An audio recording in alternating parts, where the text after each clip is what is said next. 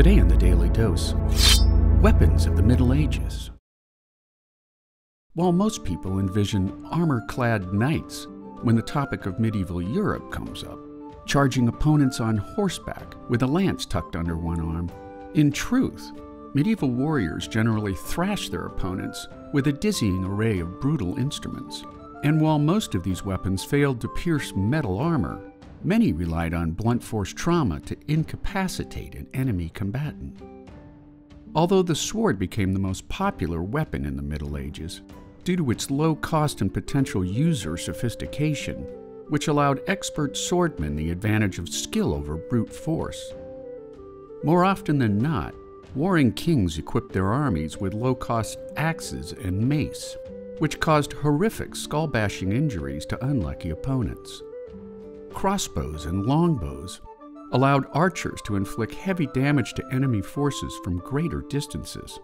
And while some selective weapons were used to incapacitate rather than to kill opposing combatants, mainly for the taking of high status prisoners for ransom or political leverage, daggers, on the other hand, were used exclusively for murder.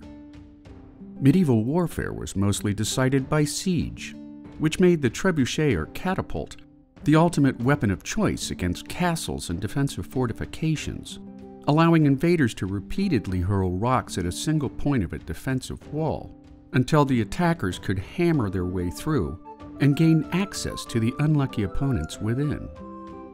The arrival of the counterweight trebuchet in the 13th century increased their hurling capacity significantly, making even great castles instantly vulnerable. In July of 1304, the garrison at Stirling Castle surrendered to Edward I rather than face Warwolf, Edward's massive counterweight trebuchet. Medieval warfare changed dramatically during the 14th and 15th centuries when Europeans embraced the Chinese inspired creation of gunpowder. The advent of handguns, muskets, and cannon allowed rulers to field large armies with limited training vastly expanding the scope and decisiveness of warfare, which ultimately brought castles, and indeed the medieval way of fighting, to an abrupt and definitive end. And there you have it weapons of the Middle Ages. Today on the Daily Dose. If you like learning something new every day, subscribe to the Daily Dose on YouTube or sign up for emails at dailydosenow.com.